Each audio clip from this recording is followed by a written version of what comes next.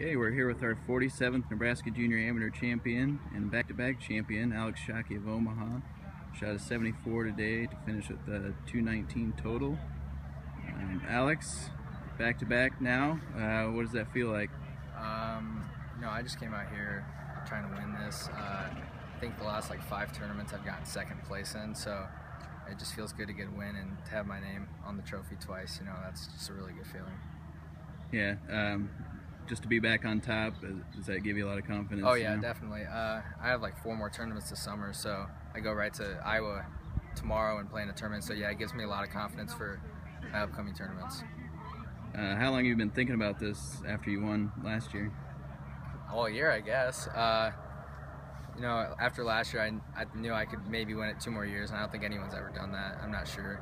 So uh, to get this one, you know, makes makes me feel like I can do it next year for sure. Yeah, it was a little more stressful this year, though, huh? You won by 14 last year. It's a little tighter this year. Yeah, I. Uh, it was Coy played really well. So Nolan and Luke. Um, me and Coy were going back, back and forth all day. I think I got, I made birdie on the first hole and he uh, bogeyed, so I, I was up one on him after one, and then we all we parred the rest of the holes, and then on the back nine, that was just a roller coaster.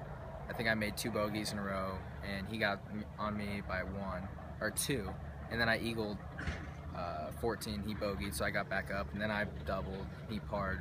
So it was just it was just a roller coaster kind of day, but I, I'm glad I came out with the victory. Yeah. Was it kind of hard to keep your emotions under control after? I mean, you made that eagle and then double Yeah. on 15. I, I honestly didn't even know it was happening. Uh, I, I made the eagle and then came right back with the double and kind of got a little bit mad, but uh, you know I kept it together. Hit a good shot, hit a good chip on 16, and just missed my birdie putt. So and then I made a really good putt on 17 for par to keep it in, uh, keep it in contention. So yeah, I'm, I'm happy with how I played.